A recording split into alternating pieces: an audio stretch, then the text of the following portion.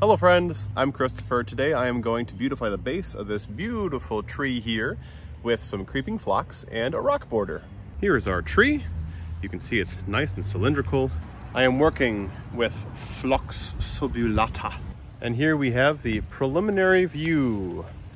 Nice. When the phlox goes in, it is going to be effectively level with the top of the rocks. And over a year or two, this will gently drape over the rocks and up to the tree and in with each other.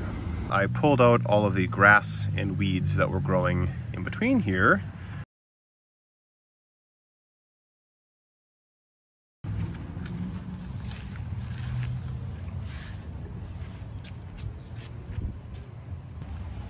Well, here we are. I'm pretty darn pleased.